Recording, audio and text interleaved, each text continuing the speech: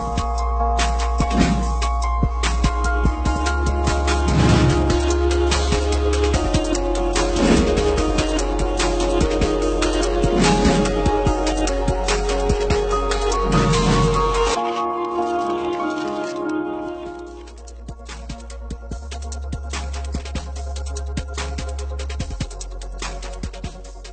ჩვენ ასე წარმოვიდგინეთ, რომ დაახლოებით ესეთი იყო იმ დროს ის ოთახი, სადაც იყო დაკითხვები და შემდეგ დაპატიმრებები.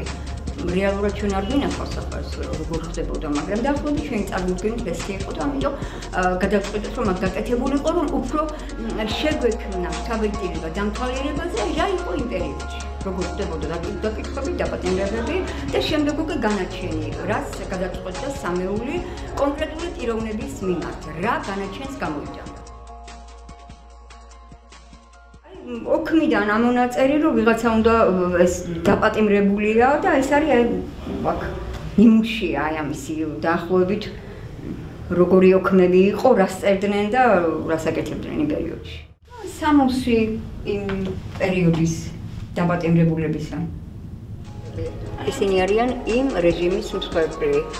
აქ არის სანდრო ახმეტელი, რუსთავის თეატრის რეჟისორი, მე-20 საუკუნის ერთ-ერთი თვალსაჩინო მწერალი მიხეილ ჯავახიშვილი, პაულო იაშვილი, ტიციან ტაბიძე, გენერალი მაზნიაშვილი, ეს ძმები კარბელაშვილები, ესეთი ტრაგიკული ფუძელი შეიძლება ითქვას. პერიოდისა.